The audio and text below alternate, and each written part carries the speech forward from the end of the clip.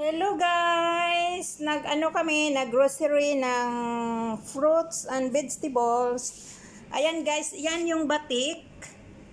Tinatawag nila na batik guys. Masarap siya, matamis. Tapos ang carrots. First time ako nakakita ng carrots na purple siya. Black. At saka yung orange. Ayan guys. From where? Maghrebi, Maghrebi. Eh. Lebanon? Morocco, Morocco. Eh, ah, eh, carrots ng Morocco pala yan guys. Ayan, purple. Australia? Eh, okay. Ah, Australia pala to. Australian ah, carrots. Ayan yung carrots na normal siya. Jordan. Eh, okay. Yan yung tomato. At saka yung black na... Sino hadas yan? Goat? Goat? Gocha? Okay, ayan guys. Ano yan siya? Fruits ito guys, matamis. Yeah, like Pilipinas ah. So, ayan yung orange. Ayan, ah, mayroon kaming dalawang basket na orange at saka yung peach. Ayan guys, peach, ano siguro siya, mga 10 kilos yan siya guys. At saka mayroon tayong uh, green chili. Ayan, green chili.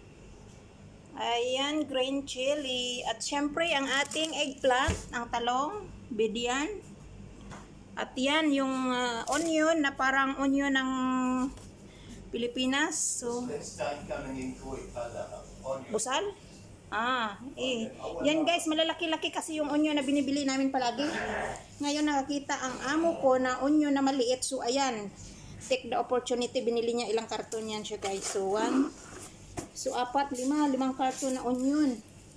Ang liit. So, ayan yung pareho sa onion natin dyan sa Pinas. At syempre, mayroon tayong bell paper na green. Siya kayan guys. Onion pa rin yan siya guys. So, ayan, onion din siya.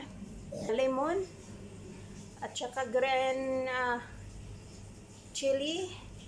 At syempre ang ating cucumber. At syempre ang ating mangga. So, ayan yung mangga guys. Ang laki-laki. Parang ano siya, apple mango. So, ayan guys, ang apple mango. Ayan yung red uh, bell pepper. Ayan. Red bell pepper siya guys. Mayroon tayong grapes, uh, black uh, grapes mayroon guys. So, ayan guys, itong pinili, naghahalaga siya ng 30 dinar. So, mga ano siya guys, 5,000 in Philippine peso, isang ano lang siya. Gan yan lang. Oh, eh, Mia dollar. Ah. Eh, yan, eh, Mia dollar, 100 dollar. Ayan.